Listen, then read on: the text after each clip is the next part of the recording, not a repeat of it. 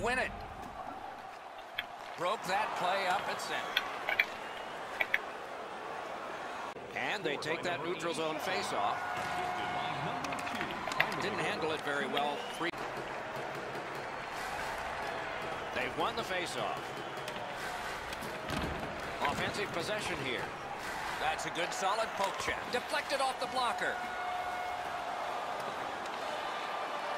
Laid on to Kurtz. Shoots. Score! He's got the hat trick. The Shelfers win that faceoff.